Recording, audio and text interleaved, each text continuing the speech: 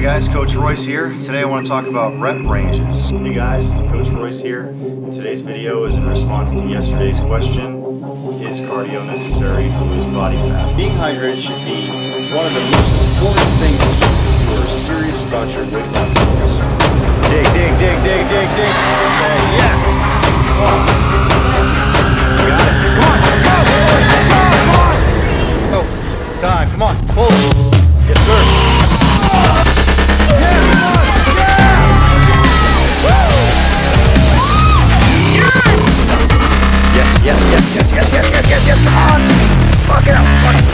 Let's go. Come on. All the way up. Come on.